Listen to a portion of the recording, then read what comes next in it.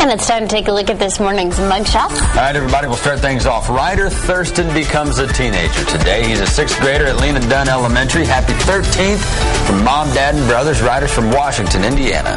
A belated happy birthday to Bruce Fiskus from your wife Joanne, along with your sons Zach and Josh. Bruce celebrated his 60th birthday back on Monday, and his family tells us they hope Bruce had an awesome to the 10th power birthday. That's because he's a sixth grade math teacher at Woodrow Wilson Middle School. I think that's kind of cute. Yeah, absolutely. Hey, more belated happy birthday wishes. This time for Libby Runyon.